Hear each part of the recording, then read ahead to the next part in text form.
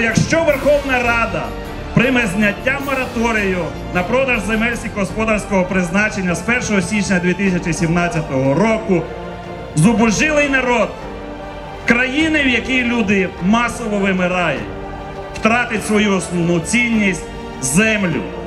І ми цього допустити не можемо, тому що ми тут не тільки за аграріїв, ми тут не тільки за сільського жителя, ми тут за весь український народ. Хвала рукам, що пахнуть хлібом. Слава Україні!